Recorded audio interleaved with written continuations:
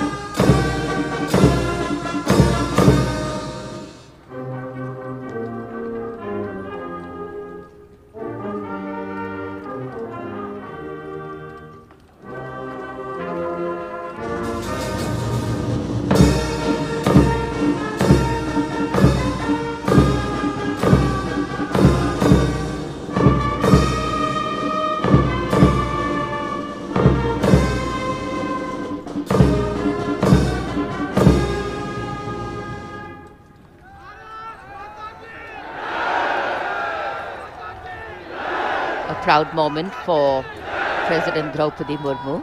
This is her first Republic Day as President and Chief of the Armed Forces, the Supreme Commander.